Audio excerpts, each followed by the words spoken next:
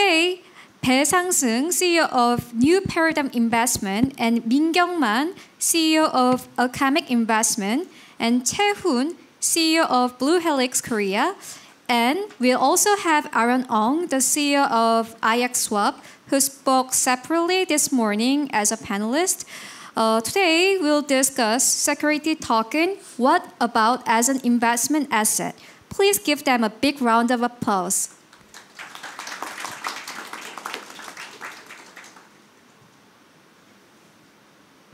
Yes, you can start. 그 우선 여기 STO 시장을 관심 가져주시고 저희 참여해 주셔서 감사하다는 말씀 드리고요. 어, 처음으로 다 이제 오랜만에 이 시장에서 발표하러 나오셨는데 자기 소개를 먼저 좀 부탁드리겠습니다. 순서대로 민 대표님께서 먼저 해주시면 감사하겠습니다. 네, 안녕하세요. 저는 민경만이고요. 알케믹 인베스트먼트 대표로 오늘 이 자리에 나왔습니다. 일단 회사 소개를 간략히 드리면요. 어, 저희는 이제 deep tech 분야의 펀드를 조성 중에 있고, 그다음에 Web3 분야에도 어느 정도 관심을 많이 갖고 어, 있는 VC라고 봐주시면 될 것 같습니다. 네, 감사합니다. 예, 반갑습니다. 뉴패러다임 인베스먼트의 대표 배상승입니다. 어, 저는 2016년에 창업을 해서 이제 8년차 어, 창업가가 됐고요. 어, 처음에는 저희들 회사 창업을 해서 블록체인 어, 기반 기술을 갖고 있는 회사에 저희들이 지분 투자를 하거나 어, ICO 어, first 시기에 저희들이 직접 코인 투자에도 참여를 했었습니다. 어, 지금 현재는 스타트업 기업들 어, 주로 이제 아기 유니콘급으로 성장시키는 역할을 하고 있고요. 현재 TIPS 운영사로서 매년 한 10개에서 15개 기업에 대한 어, 신규 투자와 TIPS 선정 그리고 후속 투자까지 어, 참여하고 있습니다. 어, 2019년에는 이제 저희 회사의 TS 인베스먼트가 어, 증자에 참여를 해서 현재 일대 주주로 어, 지금 벤처 캐피탈이 들어와 있고 어, 저 저가 이제 2대 주주로 있습니다. 어, 현재까지 AUM은 약 한 500억 규모로 지금 현재 운영을 하고 있고 70개 스타트업 기업들을 투자를 해서 어, 성장을 시키고 있습니다. 올해 12월 달에는 어, 첫 번째 IPO 사례가 나올 거로 기대가 되고 있습니다. 고맙습니다. 네, 감사합니다. 잘 들었습니다. Hi, everyone. Uh, I think a lot of you heard me speak this morning. Uh, just a quick introduction myself. Um, I'm the co-founder of IXSwap, um, and my background has been primarily in TradFi. I was an investment advisor at um, quite a few largest private banks in Singapore, um, and uh, my clientele were mainly the ultra high net worth clients in Singapore and across Asia. Um, I dealt across all asset classes, um, and in 2015 2016, I moved into crypto, um, and a couple of years later, I started IXSwap. Thank you. 땡큐요. 어, 우선 저도 이제 간단하게 제 소개를 드리고 질문을 드릴까 합니다. 저 저도 이제 이 업계를 들어오게 된 게 중국에서 오랫동안 살고 뭐 학교도 다니고 일도 하게 됐습니다. 첫 회사가 저희 그 공상은행이라고 하는 중국 은행이 있는데 거기서 사모펀드에서 일을 하다가 어, 좀 더 빠른 어, 중국 시장 형태 때문에 이 블록체인 시장 그리고 비트코인 접했던 것 같습니다. 그리고 한국에 와서 첫 어, 저희 회사는 비트코인 거래소를 했습니다. 한국의 비트코인 거래소가 어, 한 세 개 정도 있었는데 당시에 코빗, 비썸, 업비트 이렇게 좀 어, 어떻게 보면은 시장에서 장사를 하고 있던 시기에 저희가 어, 한국 시장을 진출을 했고 그 호비라는 회사를 가지고 이제 어, 한국 시장에 나왔었습니다. 그래서 호비 이후에 어, 거래소 이후에 다른 것도 해보고 싶다 해서 현재는 기술 납품을 하고 있고요. 어, 종종 이제 좋은 분들과 함께 투자도 같이 진행을 하고 있습니다. 어, 그 연장선상에서 이제 공통 질문을 할까 합니다. 저희가 어, 처음 창업했을 때 어, 약간 좀 주제 넘는 얘기일 수도 있는데 어, 돈을 혁신한다 이런 모토를 가지고 어, 디지털화를 하겠다 어, 이런 모토를 가지고 저희 그 친구들과 창업을 했던 것 같습니다. 그래서 이런 어, 형태에서 저희가 어떻게 STO 시장을 바라보고 있는지 투자자들은 또 어떤 그 모토를 가지고 사업을 하고 계신지 궁금합니다. 그거에 대해서 공통 질문을 한번 드릴까 합니다. 예.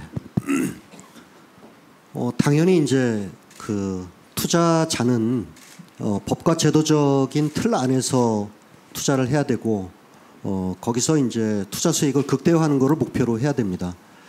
아직까지 이제 국내 그 자본시장법을 살펴보면 어, 물론 뭐 증권이나 그 다음에 그 어, 전자증권 어, 이런 부분에 대해서는 이미 이제 그 어, 실물 증권으로서 인정을 받고 있고 유통도 되고 있고 발행도 되고 있습니다.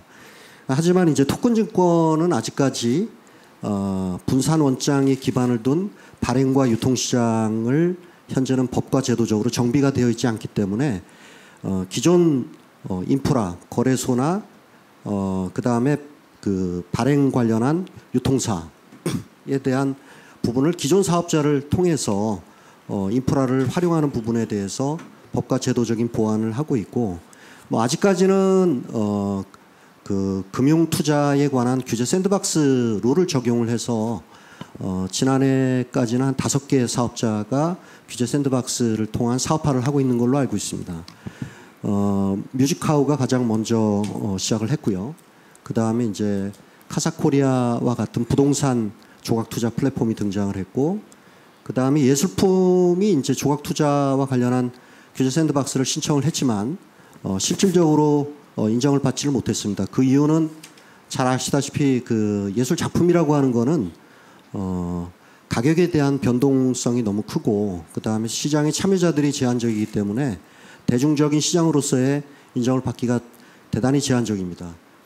어, 그래서 이제 저희들은 지금 규제 샌드박스에 있는 기업들을 대상으로 투자하기에는 아직까지 어려움이 있다고 판단을 하고 있고 어, 결국은 어, 이런 자본시장법의 어, 개정을 통해서 어, 실질적으로 토큰 증권을 어, 발행과 유통을 통한 사업화 이런 쪽에는 어, 향후에는 투자 어, 가능성을 열어두고 있습니다. 어, 어, 일단 자산의 디지털화가 질문이셨잖아요. 그러니까 비트코인으로 좀 대변되는 것 같아요. 사실은 이런 열풍이나 사람 대중들의 관심, 투자자들의 관심이 어쨌건 비트코인 관련돼서 시작이 됐던 것 같고, 어, 저 역시도 2017년도에 시장에 진입을 했을 때 예, 그런 상황이었던 것 같아요. 근데 어, 결과적으로는 어, 이런 자본시장법에 맞게 투자를 하고 어, 예, 그 기회를 찾아가려고 하다 보니 저 같은 경우는 대표님이랑 좀 다르게 VC를 어, 라이센스를 받게 됐고 만들게 됐고 지금 펀드를 만들고 있는 중입니다. 어, 말씀 주신 것처럼 규제가 어떻게 될지 좀 기다리고 있는 상황이고 예, 투자처들을 계속 발굴하고 있는 상황입니다. 네 그렇다면 향후 좀 어, 사실 개인 투자자나 기관 투자자들이 조금 더 관심을 가질 수 있는 것 같은데요. 어, 향후 안정적으로 그나마 개인 투자자들이 조금 바라볼 수 있는 어, 섹터라든지 아니면은 그런 회사가 있다면 간략하게 힌트를 주실 수 있을까요? 일단 제 생각에는 아직 개인 투자자들이 어, 어떤 회사에 투자를 하기에는 좀 어, 이른감이 있어 보이고요. 저희 같은 VC들이 회사를 발굴하고 그러니까 규제가 만들어지고 회사를 발굴하고 투자를 한 다음에 예, 개인들이 들어오는 게 맞지 않나 생각을 합니다. 지금 투자자들 보호에 대한 부분들도 사실은 조금 더 규제가 나와야 되고 예, 그런 면에서 저희 같은 VC들이 투자를 하고 개인들이 참여를 하는 게 어떨까 예, 생각하고 있습니다. 네 말씀 감사합니다. 어 그리고 제가 또 그리고 이 업계 가, 회사를 운영하시는 분들이 모두가 관심 갖고 있는 상황일 텐데 이 규제에 대해서 사실 민감할 수밖에 없는 상황인데 어, 개인 투자자들은 어떻게든 규제를 약간 어, 벗어나서 어, 비트코인을 사보거나 아니면 이더리움을 사보거나 어떤 식으로 뭘 사보거나 할 수 있습니다. 하지만 기관이나 저희처럼 회사를 운영하는 분들은 이게 규제가 없다고 하면은 더 리스크 요인으로 작용을 했던 것 같습니다. 그래서 말씀 주신 대로 규제를 두 분 다 이렇게 기다리고 계신 것 같고요. 그 차원에서 조금 더 여쭤보고 싶은 게 있는데 현재 그 금융시장에서 봤을 때 그 저희 STO 이쪽에서 정책 동향이라든지 또 한국은 어떤 상황이고 혹시 해외 해외 상황을 아시는 분이 있으면 그 방향성에 대해서 좀 어, 말씀을 해주시면 감사하겠습니다. 예. 어, 저희도 2017년, 18년도에 에, ICO 프로젝트에 에, 투자를 했습니다. 어, 첫 번째 프로젝트가 앱코인즈라고 하는 게임 유틸리티 토큰에 에, 투자를 했는데 ICO로 물론 뭐 그 당시에 기축 통화인 뭐 BTC나 어, 이더리움 기반으로 저희들이 어, 투자를 했고 어, 실질적으로 한 달 만에 20배에 가까운 그런 경이적인 수익률을 기록을 했습니다. 그래서 아, 스타트업 투자보다는 아, 이쪽이 좀더 어, 투자 회수 기간도 빠르고 투자 수익도 굉장히 어, 높을 수 있겠다라고 판단을 해서 그 이후에 한 10개 이상의 ICO 프로젝트에 저희들이 직접 어, 투자를 했습니다. 뭐 대표적인 게 뭐 어, 이그드라시라든가 그 다음에 리스타트 에너지라든가 그 다음에 프렌즈, 하이콘 뭐 굉장히 많은 ICO 프로젝트에 저희들이 투자를 했는데 어, 실질적으로 이런 그 어, 기축 통화가 아니라 알트코인의 경우에는 어, 가격에 대한 어, 변동성도 많지만 어, 본질 가치 자체가 없습니다. 본질 가치라고 하는 거는 어, 그 비트코인처럼 어떤 반감기를 통해서 어, 가격에 대한 형성, 유지, 어, 상승 어, 이런 부분들이 형성이 돼야만 어, 개인들의 투자뿐만 아니라 기관들의 투자까지 참여할 수 있는 그런 금융시장 환경이 조성이 되겠지만 어, 실질적인 사업적인 진척도 없고 그리고 백서 기반의 여러 가지 어, 사업들을 전개하고 있지만 그거를 공시하거나 그 사업 내용을 어, 코인 홀더들한테 공유하는 이런 부분에서 상당히 어, 그 소홀한 느낌을 좀 많이 받았습니다. 그래서 뭐 거래소에 등록되어 있는 코인들의 경우에도 이런 공시 의무라든가 그 다음에 이제 발행 관련한 이런 내용들을 투명하게 공개를 어, 하도록 지금 권고하고 있는데 어, 실질적으로 블록체인 사업을 추구하는 많은 분들이 블록체인에 대해서는 그런 정보의 비대, 비대칭성을 해소를 하고 그 다음에 중앙집권적인 이런 사업 모델을 분산화 원장을 통한 어, decentralize라는 어떤 사업 목표를 갖고 추진함에도 불구하고 어, 실질적으로 그러한 어, 정신들이 저는 어, 그 투자자로부터 존중을 하고 있다는 느낌을 받지 못했습니다. 그래서 많은 프로젝트들이 당연히 실패할 수밖에 없었고요. 어, 그 결과 어, 저희들은 어, 블록체인 쪽에 대한 투자보다는 어, 저희들의 사업의 어떤 본질적인 스타트업 기업들을 어, 선별, 투자, 육성하는 데 좀 더 어, 선명한 목표를 가져가야 되겠다라고 판단해서 2019년부터는 어, 저희 고유 계정 중심으로 어, 저희들은 스타트업 기업들에 대한 초기 투자를 하게 됐고 어, 블록체인 쪽에는 그런 기술 기반을 갖고 있는 기업들에 대해서 equity 중심의 어떤 투자로 이어졌습니다.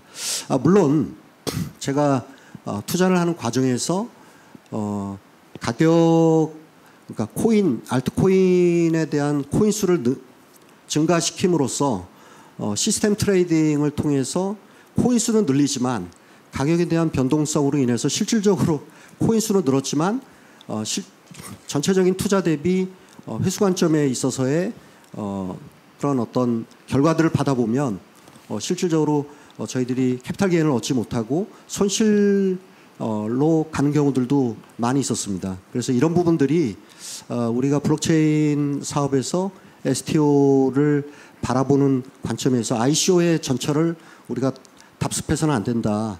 아, 그리고 이런 부분들이 이제 법과 제도적인 어떤 제도권 내에서 같이 공존해야 된다라는 점을 좀 강조하고 싶습니다.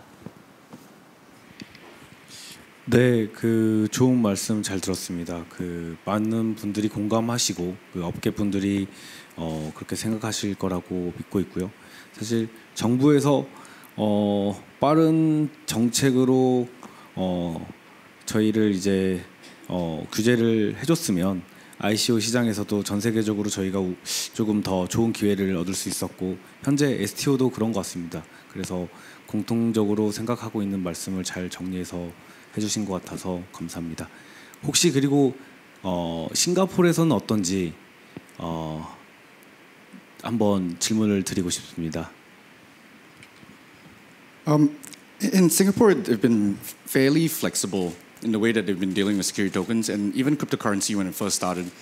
Um, I, I think a, a big reason why Singapore has actually clamped down on cryptocurrency now is because of Luna and FTX and all, all that stuff that went down the last couple of years. But Singapore has generally been fostering a lot of innovation.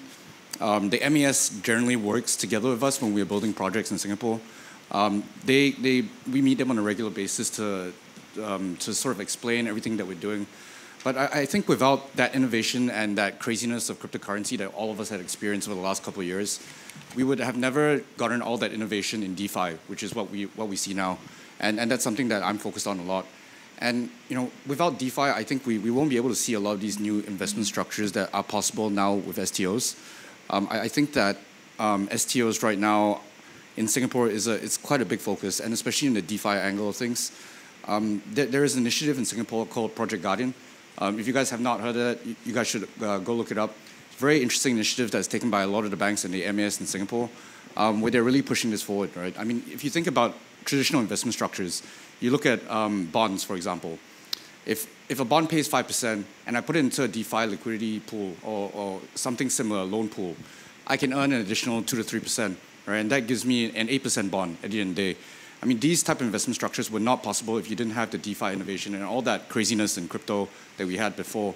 So Singapore is taking that stance that we're all pro STOs, and a lot of the banks in Singapore as well, uh, they, they've actually started pushing out their own STO platforms. I think HSBC just announced uh, a couple of days ago that they are starting up their own STO gold exchange as well.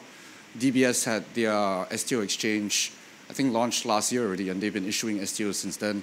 So Singapore has been very forward-thinking, I would say, and I think they've always been very open in the financial in, in the financial industry to, to innovation and to fintech and to any sort of new products that um, create new value, but at the same time protect the investors uh, as well. Um, currently in Singapore, uh, STOs are only allowed to be sold to accredited investors, and that means that you have um, net worth of $2 million and above. Um, but I, I do think that over time, we will start seeing more retail licenses across the world being issued to, for retail investors to start investing to STOs as well. 네, 말씀 감사합니다. 예, 그 싱가포르 싱가포르에서 저희가 사업을 하러 많이 나가고 또 어, 여행도 많이 가고 하는데 좀 특이한 점은 개인 투자자도 200만 달러 이상 있어야지 투자를 할 수 있다는 거는 좀 어, 혁신적이고 신기한 부분인 것 같습니다. 그리고 저희 싱가포르가 어떻게 말씀해 주셨지만 국가 경영을 기업처럼 한다고도 생각이 드는데 어, 어떻게 보면 그 홍콩의 그 자본이 또 많이 싱가포르로 옮겼다고 최근에 들었는데 어, 어떤 기회가 있을 때마다 저희 그 블록체인 섹터도 그랬고 STO도 그랬고 그 전에 금융시장에서도 그랬고 정책적으로 홍콩이 약간 불안정할 때 또 싱가포르로 많이 움직이는 회사들이 있었습니다. 어, 그렇듯이 한국도 사실 저희가 굉장히 유리한 위치에 있고 뭐 지정학적으로나 저희 그 어, 산업적으로나 금융이나 뭐 인터넷도 잘 터지고요. 그런데 이제 어, 계속 이 기회를 여러 번 놓치고 있는 것 같습니다. 예전에 그 뭐 사모 시장에서부터 그 대체 투자 그리고 뭐 저희 블록체인 뭐 지금 STO까지 왔는데 계속 한 발씩 늦어지고 있는 것 같은 게 조금 아쉽다는 생각을 하면서 싱가포르이 또 국가 경영을 잘하고 있구나 이런 생각도 들기도 합니다. 예, 좋은 말씀 잘 들었습니다. 그리고 또 질문을 하고 싶은 게 사실 VC에서 가장 어, insight가 있을 거라고 생각이 되고요. 그리고 그 VC에서 보는 그 STO 시장에 대해서 어, 투자 전략 뭐 어떻게 투자를 하고 어떻게 어, 저희가 엑시도 하고 그리고 어떤 식으로 투자 전략을 짜야 더 많은 수익을 가져갈 수 있을지 뭐 그런 게 좀 직접적으로 궁금하기도 하고요. 또 어떤 방향성이 있는지 그 모든 분들한테 좀 질문을 드리고 싶습니다. 향후 투자 전략에 대해서 예, 아, 저희는 VC는 아니고 A씨입니다. 엑셀러레이터이고 현재 중기부에 등록되어 있습니다. 어, 아직까지 이제 이 ST 시장에 대해서는 어, 아직 법과 제도적인 여건들이 조성이 되어 있지 않다고 생각을 합니다. 어, 디지털 자산 기본법이라든가 증권거래법, 어, 자본시장법 이런 부분들이 보완이 되고 거기서 실질적으로 이 사업을 운영할 수 있는 주체 어, 플레이어들이 어, 발행 어, 발행 시장과 어, 유통 시장 어, 그 중에서도 이제 그 어, 발행 시장 쪽에서 많은 사업자들이 이제 참여할 거로 기대를 하고 있습니다. 저희가 투자한 바이셀 스탠, 바이셀 스탠다드의 경우에도 어, 선박금융 어, 우리가 이- 일반적으로 알고 있는 어, 선박 어, 금융은 어, 소수의 그 기관 투자자들만 참여해서 어, 그들만의 리그로 분리되는 시장입니다. 근데 이런 부분들을 이제 조각 투자를 통해서 어, 대중적으로 많은 차- 시장 참여자들이 어, 참여할 수 있도록 어, 하는 어, 부분에 대해서 크게 이제 기대를 하고 있고요. 어, 그래서 이러한 그 어, 법과 제도적인 어떤 기반 하에서 어, 발행 어, 발행 시장에 참여하는 플레이어들 중에서 사업화 가능성이 높은 프로젝트 어, 이런 데에 저희들도 어, 직접적인 투자뿐만 아니라 어, 지분 어, 투자까지도 어, 검토를 하고 있습니다. 에, 결국은 어, 우리가 투자를 할 수 있는 방법은 너무 많죠. 뭐 실물 증권에 대한 취득도 있고 그리고 전자증권을 통한 투자 참여도 있고. 근데 이제 토큰 증권이라고 하는 거는 굉장히 편리하죠. 어, 그러니까 서로 간의 어떤 약정이나 계약 이런 부분들을 어, 굉장히 간편하고 빠르게 그리고 분산 원장에 기록함으로써 어떤 위변조에 대한 어, 그런 변동 위험도 없기 때문에 어, 이쪽 시장에 대해서 이제 개인들이 좀 더 믿고 참여할 수 있는 그런 환경이 조성될 거라고 생각을 하고 있고 이제 투자에 대한 금액도 지금 현재 클라우드 펀딩의 경우에는 1인당 참여 어, 제한 금액이 200에서 500만 원으로 상향 조정이 됐듯이 ST 시장의 경우에도 개인들이 참여할 수 있는 어, 부분은 어, 금액에 대한 어, 제한이라든가 그 다음에 시장 참여자에 대한 규정 이런 부분들은 앞으로도 계속 보완해 나갈 거라고 보고 있고 지금 이제 증권사와 그 다음에 KRX 한국거래소 이런 쪽에서는 이제 유통 어, 발행 시장에 관한 어, 이런 기존 인프라를 어, 이런 시장 참여자들에게 제공할 거라고 보고 있습니다. 네, 저기 AC 입장 잘 들었습니다. 그러니까 VC 입장에서는 여태까지는 어, 일단 프로젝트 토큰이 발행된 곳에 대한 투자는 어, 몇몇 이루어졌던 거로 알고 있는데요. 근데 앞으로는 상당히 어렵지 않을까 생각하고 있습니다. 일단 어, 엑시시나 뭔가 valuation 혹은 매출의 문제가 대부분의 재단들이 해외에 있다 보니까 한계가 분명히 있고요. 그래서 앞으로는 그 규제에 맞는 회사에 투자를 하는 시장이 만들어질 거라고 생각을 하고 있습니다. 그리고 ST 관련돼서는 토큰 증권 관련돼서는 어, 아직은 또 이쪽 여기 많이 다 아시겠지만 음, 이쪽에 대한 전문성이나 좀 오래 사업을 해온 업체들이 많지는 않아요. 어, 대부분 올해 좀 붐이 일어서 어, 좀 사업체를 만들고 증권사들도 많이 팀을 조직한 거로 알고 있는데 어, VC에서 자금이 들어가고 투자를 하고 엑시스를 하기까지는 아직은 좀 뭐 빠른 시일 내에는 많이 이루어지지 않을 거라고 생각을 하고 더 조심스럽게 접근해야 되는 시장이라고 생각을 합니다. 네, 그 싱가폴 쪽도 어떤 내용인지 궁금합니다. I think as, as investments as a whole, I don't think security tokens differ that much from any other traditional investment that we're looking at right now. It's really just a different wrapper that we're looking that we're using, right? Um, and if you're talking about maximizing gains and staying safe, I, I don't think that really differs too much from how traditional investment has been made over the years. Um, it's really just about how you diversify your portfolio and choosing the right investments. And we, we at IXSwap, we issue all types of um, security tokens.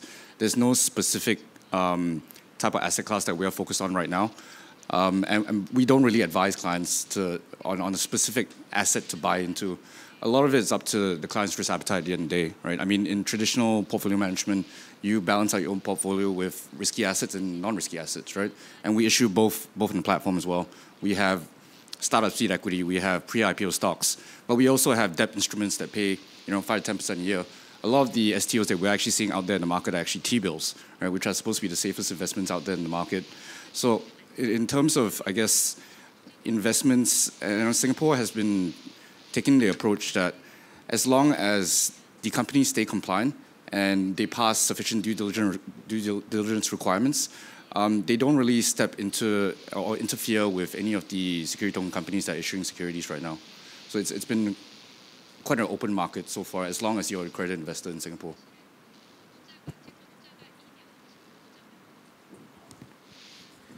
네, 그 부분에서 또 보충 설명이나 제가 아이디어가 떠올라서 잠시 말씀드리자면 한국에서는 또 이렇게 해서 저희가 어, 발행을 아직도 하기 어려울 거고 앞으로도 굉장히 까다로울 것 같은데 싱가폴로 또 STO 시장은 나갈 수밖에 없을 것 같습니다. 한국 기업 중에서 지금 규제 샌드박스 안에 못 들어간 기, 기업이 90% 이상이라고 생각 드는데 STO 사업을 하고 싶은 회사들 중에서요. 그들은 사실 싱가포르에 날라가서 이렇게 좋은 파트너를 만나면 바로 발행할 수 있을 것 같습니다. 이게 사실 어, 어떻게 보면은 어, 한국의 지금 약간 약점이 될 수도 있고 크게 보아서는 또 사업가들은 이 빠른 시장 대처를 해야 하기 때문에 싱가폴로 많이 날아가는 것 같습니다. 그 좋은 파트너를 찾아서요. 그래서 저희도 빠른 규제나 빠른 뭐 그 정책이 나와서 그게 이제 어 정책은 나와 있죠. 그런데 이게 저희가 뭐 법제의를 거쳐서 실행이 되기까지가 굉장히 오래 걸렸던 것 같습니다. 예전에 ICO를 어 시작되고 그 ICO에서 뭐 어떤 형태로 넘어가서 저희 이쪽 블록체인 시장이 사람들이 많이 알려지고 문제가 생기기까지 또 굉장히 오래 걸렸는데요. 아마 STO 시장도 이 한 번 경험으로 답습하지 않았으면 좋겠다는 생각이 들고요. 그리고 또 그러면 마지막 질문으로 어 저희 그 혹시 아 그 하고 싶은 이 업계나 아니면 지금 투자 쪽에서 바라보는 방향성이나 하고 싶은 말씀이 있으면 먼저 한번 해주시면 좋을 것 같습니다. 어, 지금 국회에 발의되어 있는 그 자본시장법 개정안 중에 이제 핵심 내용이 과세에 관한 어, 정책 제도입니다. 어, 미국이나 일본의 경우에도 발행과 유통에 대한 어, 부분을 분리하지 않고 통합해서 운영을 하고 있다는 것은 그만큼 이제 이 시장에 대해서 가능성을 높게 바라보고 있고 많은 참여 시장 참여자들이 쉽게 참여할 수 있도록 오픈마켓 형태로서 시장을 많이 개방하고 있다고 저는 생각을 하고 있거든요. 어, 미국, 일본 마찬가지로. 그런데 우리나라는 아직까지는 이제 발행과 유통을 분리하는 정책을 가져가고 있고 과세에 대한 부분은 이제 일본에서도 이런 그 디지털 자산의 유통 어, 매매를 통한 어, 수익의 경우에는 55%까지 양도 차익에 대한 과세를 하고 있다고 알고 있습니다. 지금 현재 정형 증권으로서의 주식이나 그 다음에 실물 전자증권 어, 이런 부분과 동일한 잣대로 토큰 증권에 대해서도 동일하게 에, 그 증권 규제 원칙을 적용한다라는 입장을 가져가고 있고 금융 투자 소득에 대한 과세 정책도 어, 기존에 발행되어 있는 정형 시, 어, 정형적인 증권과 동일한 잣대로서 어, 그 양도 차익에 대한 그런 과세 정책도 앞으로 어느 정도 어, 그 기준을 마련할 거라고 보고 있습니다. 아, 또한 지금 현재 규제 샌드박스에 참여하고 있는 개인들의 그 어, 투자 금액 한도도 어, 현재는 일반 투자자의 경우에는 어, 천만 원에서 이천만 원, 그 다음에 소득 적격 투자자로 인정받는 경우에는 사천만 원, 법인 투자자는 이제 전체 수익증권 발행 총액의 30% 이내에서는 이제 투자할 수 있도록 어, 법과 제도를 어, 정비하고 보완해 나가고 있거든요. 그래서 앞으로 어, 지금 이제 ST 같은 경우도 개인 중심의 어떤 시장 참여로서 초기 시장은 형성이 되겠지만 어, 결국은 어, 이 시장이 ETF라든가 그 다음에 여러 가지 파생 상품으로 확대해 나가기 위해서는 법인 그리고 기관 투자들의 어떤 시장 참여 이런 부분들이 활발하게 어, 좀 확대가 돼야 될 필요성이 있습니다.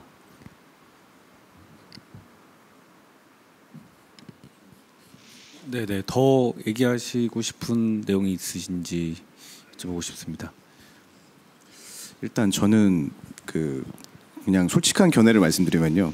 그러니까 지금 약간 올해 일종의 붐이 아닐까 좀 걱정도 되기도 하고 왜냐면은 블록체인 쪽에서 있었을 때 그 유행이 있더라고요. 어떨 때는 STO, 어떨 때는 뭐 NFT. 어 근데 어 지금 이런 토큰 증권 이슈는 어 사실 과거에도 있었었어요. 2018년도에도 이제 지자체 혹은 어떤 샌드박스를 또 마련해서 어 저, 이제 좀 법제화 한다던가 활성화를 하려는 움직임도 있었고요. 네, 지금은 이제 때가 돼서 하는 어 법안이 만들어지고 있는 것 같고 이제 그 플레이어들이 참여를 하고 있는 것 같아요. 그래서 좀 더 이제 잠깐 붐이 아니라 좀 건전한 시장이 만들어졌으면 하는 바람을 가지고 있습니다. 네, 좋은 말씀 감사합니다. 싱가포르 쪽에서도 어떤 동향인지 좀 말씀 주시면 감사하겠습니다. So, I think Singapore is probably just a couple ahead, a couple years ahead of Korea. Um, we were very, very early into the market. We got a broker dealer license in 2018, and then we applied for the exchange license back then as well. We never got the exchange license until this year. Um, and it was only really until maybe about a year and a half ago where they started um, having Singapore custodians as well. And the interesting thing about the Singapore government is that they issued these exchange licenses, but you couldn't operate without a Singapore custodian. So you could actually you couldn't operate any exchanges even if you got a license much earlier. But I think all that has started to change in the last uh, last year or so. There's about almost 10 custodians in Singapore, banks included as well. I think Citibank just came out and said that they want to custodize security tokens. HSBC has also come out to say that they want to custodize security tokens as well. Uh, so I, I, think the landscape in Singapore is, is changing very, very fast. Um, and it's, it's, I think it was, Singapore government likes security tokens, right? Unlike cryptocurrency and NFTs, all those kind of products beforehand were you're complete undocs. You don't have to. You, you're not known. You can just buy something and you don't have to provide any sort of KYC details. The interesting thing about blockchain and what and security tokens is that every single person that has to buy it is KYC'd already, right? And all on-chain on-chain transactions are all immutable. So you see everything that's going on in the blockchains, and I think regulators and, and governments, especially the Singapore government, they, they really like the transparency, and I think um, a lot of governments are going to start adopting this as well, purely because of the transparency that they see. 네, 좋은 말씀 감사합니다. 그 어, 유럽이나 싱가포르 시장에서 저희가 어, 대응하던 것보다 좀 더 빠르게 뭐 라이센스를 발급한 것 같습니다. 뭐 19년도에 라이센스를 발급했다고 하네요. 예, 저희 저희도 그 당시에 말씀 주셨던 것처럼 규제 샌드박스도 생기고 그 협의체도 많이 생겼던 것 같은데 어느 순간 잠시 들어갔다가 최근에 다시 또 이렇게 어, 붐이 일어나는 것 같아서 어떻게 보면은 아직도 늦지 않다고 생각되고요. 저희가 어, 대표님들께서 투자하신 바이낸스 텔다들을 비롯해서 저희 어, 약간 이 업계에서 유명하고 어, 사람들이 이제 점차 관심을 갖고 있는 뭐 뮤직카우라든지 그런 회사들이 있습니다. 그런 회사들을 필두로 어, 한국의 좀 대표적인 회사가 또 나왔으면 좋겠습니다. 사실 저희 업계에서 어, 이제 싱가포르 컨퍼런스나 아니면 어, 블록체인 컨퍼런스 뭐그 어, CES 같은 곳이죠. 또 어떻게 보면은 좀 전 세계 친구들이 다 모이는 자리에 가면은 한국을 기억하는 게 두 곳이 있습니다. 테라라는 테라 사태하고 그 카카오에서 만든 클레이튼이 있는데 사실 아주 안, 안타까운 일입니다. 이게 뭐 한국에서 굉장히 많은 투자자들이 투자를 하고 그리고 많은 기업인들이 관심을 갖고 그리고 창업자들이 참여를 했는데 어, 다른 해외 친구들은 저희를 봤을 때 이제 어, 약간의 그 안타까움과 좀 이제 좀 시들지 않았나 망하지 않았나 이런 걸로 이제 비춰질까봐 걱정이 되기도 하고요. 이제 지금 STO 시장에서 말씀하신 곳들처럼 투자하신 곳들처럼 이제 아주 탄탄하게 만들어지는 회사들이 있습니다. 뭐 바이셀 스탠다드도 그렇고요. 저희 그런 회사들이 조금 더 어, 세계 시장으로 진출을 해서 이제 친구들 만났을 때좀 아, 우리 이, 이런 회사가 한국 회사다 이렇게 말할 수 있으면 좋겠습니다. 결국은 어, STO 시장도 어, 향후의 어떤 발전 방향을 바라보면은 어, 우리가 실물 자산의 그 어떤 취득할 수 있는 유통 경로로서 부동산이나 예술 작품이나 뭐 뱅카우 같은 소, 뭐 그다음에 이제 여러 가지 뭐그 어, 예술 작품 뭐 이런 것도 있지만 앞으로는 이제 지분 ST라든가 그다음에 대출 ST 그다음에 이제 저희처럼 이제 펀드를 결성을 할때 어, 이제 펀드 어 그러니까 조합 조합 결성에 대한 ST 그리고 수익 증권에 대한 ST 이런 형태로서 금융 상품이 앞으로 계속 등장할 거라고 저는 보고 있습니다. 실질적으로 어, 미국이나 일본의 경우에는 전통적인 금융 어, 시장의 그 메인 플레이어들이 이 시장에 뛰어들어서 어, 초기 시장을 형성해 나가고 있거든요. 그래서 우리나라도 어, 단지 이런 그 실물 자산에 대한 어, 직접적인 그 분산 어, 투자 방식도 있지만 이런 여러 가지 기존 자본 시장에 있어서의 어떤 여러 가지 조각 투자에 참여할 수 있는 시장으로 저는 계속 성장 어, 발전해 나갈 거라고 기대하고 있습니다. 오늘 많이 언급되는 회사 중에 하나가 뮤직하우인데요. 어, 실제로 뮤직하우 만큼 이제 준비를 하고 있는 회사들이 상당히 많아요. 요즘 K 컨텐츠, 뭐 IP 이런 게 굉장히 인기 있다 보니까 해외에서도 오늘 발표 혹은 참여자분들도 그런 회사들을 발굴을 하려고 이렇게 참여해주신 분들이 많은 거로 알고 있거든요. 근데 어, 실제로는 어쨌건 뮤직하우 같은 준비를 하고 있는 회사들도 상당히 많고 그리고 한국의 그런 투자 기회를 어, 투자처를 발굴하려고 하는 회사들도 상당히 많이 있는 걸로 알고 있습니다. 저희도 그 중에 하나고요. 그래서 사실 또 규제 얘기는 가급적 안 하려고 했는데 뭔가 좀 서둘러서 어, 진행이 되면은 좀 세계적으로도 좀 선점할 수 있는 부분들이 많이 보여요. 그래서 그런 예, 그런 부분들이 좀 아, 말씀 주신 대로 좀 잘 진행됐으면 좋겠습니다. 약간 말씀을 아끼시는 것 같은데 혹시 지금 투자하고 있는 그러면 뮤직카드 비슷한 회사가 있는지 이렇게 기사를 안 쓰더라도 이렇게 네네네. 좀 아, 일단 저 제가 아까 제 이력을 자세히 설명을 못 드렸는데 저도 2017년도부터 이제 포럼을 통해서 블록체인에 들어왔고 이제 뭐 fund of fund 이제 나라에서 이제 특금법이나 가이드라인이 나올 때마다 그거에 맞게 사업을 진행하고 있었어요. 근데 어 말씀 주신 거는 이제 개인으로 좀 이제 투자를 하고 있고 근데 그런 회사들의 어쨌건 한계점이 국내에서 뭐 ICO를 한다던가 어 할 수가 없잖아요. 그래서 대부분 뭐 싱가포르나 해외로 나가 있는 상황이고 그러다 보니까 좀 더 안타까운 점들이 많이 보이죠. 저희가 펀드를 조성해서 좀 사업에 좀 도움도 주고 엑시스를 할 수 있는 모습들이 보이는데 예, 그런 중간점이 좀 찾아져야 되지 않을까 싶습니다.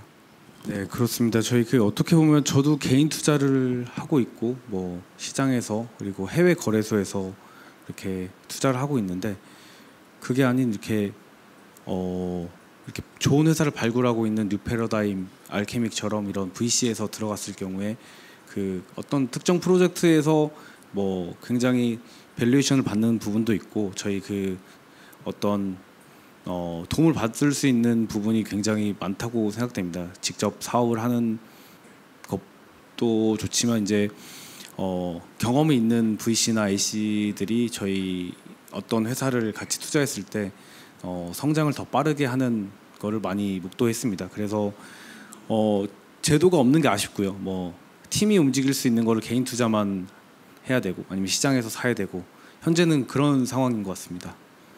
예, 싱가포르는 또 어떠한지 궁금합니다.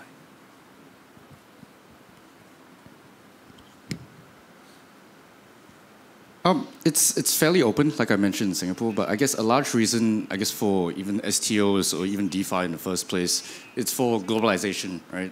It's providing other countries and other investors across the world access to investments that uh, might not have been accessible before. I mean, that's one of the large reasons why we're actually in Korea right now. we're looking for Korean investments that we can bring offshore.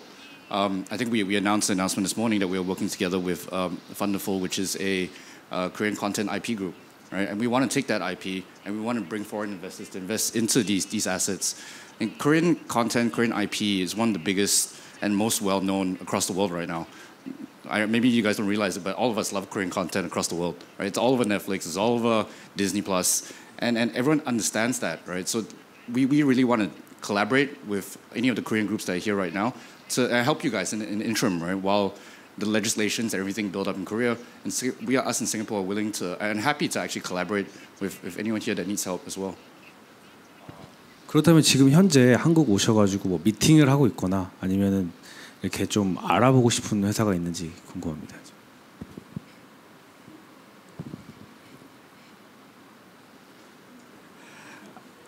I, I think uh, there's a lot of uh, NDAs being signed, so. but we, we've made one Okay. announcement already. Thunderful's the first one that we're working with, but there are quite a other few companies that we're speaking to at the same time. 나이스 나이스. 어 그리고 마지막으로 또 뭐 이렇게 하고 싶은 말이 있으신가요?